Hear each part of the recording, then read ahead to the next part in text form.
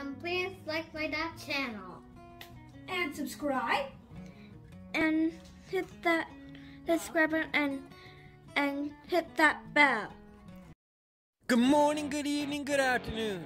This is Phoenix 198720 here to bring you my latest episode on my Let's Talk About series. And today we're going to be talking about Mario Kart, the new one that has been leaked all over for the Nintendo Switch. And a lot of people are shaking their heads and be like, Mario Kart 8 Deluxe is selling like hotcakes still. Why would Nintendo do that? Why would Nintendo compete? Because technically, we haven't got a new Mario Kart since 2014, when Mario Kart 8 originally came out for the Wii U.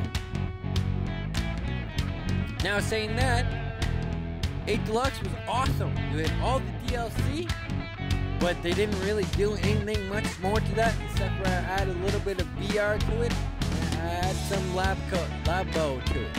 But that's besides the point.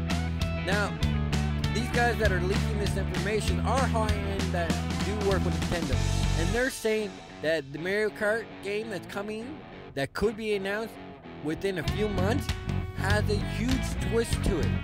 Now, I've heard people, I've read uh, comments going through, skimming on all these articles about the Mario Kart. A lot of people would say, "What about F Zero?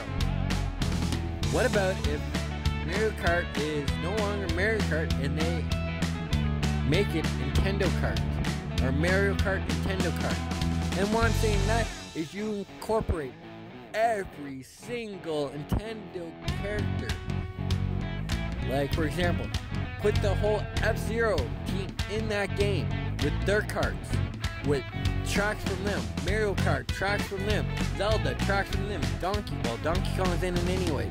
What you get my drift, you incorporate every every Nintendo character in their franchise into this game, like they did with Super Smash Bros. Ultimate, and you make this one the best racing game there is for Nintendo Switch, dealing with the Mario Kart stuff, it will sell even more. It will push systems out the door. And that's what Nintendo wants. Not only do they want to have high sales in software, they go they got a goal in mind that they want to get with their consoles, with Nintendo Switch. So let's instead of making a two, three gigabyte game like the other one was, or 5.5, let's go to 20 gigs with this game. Let's make this game top notch. Let's incorporate as much. Make this the craziest Mario Kart game there is, and at the same time, throw a little bit of uh, Mario Maker in there as well. Create those crazy tracks. Play online. Share your crazy tracks online with people. Now, how great would that? Next Mario Kart game has every Nintendo character in their franchise represented in this game.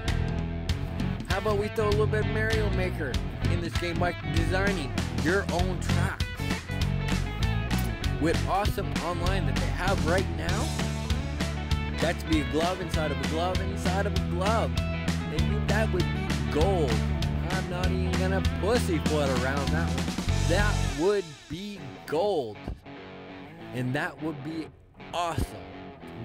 Add the Mar- Super Smash Bros. Ultimate Field, Mario Kart Racing, and all that. And then throw in some other tracks that are famous, like some Formula F1 tracks. You know what I mean? You got Dev Zeros in there, you got Formula, you got Mario Kart.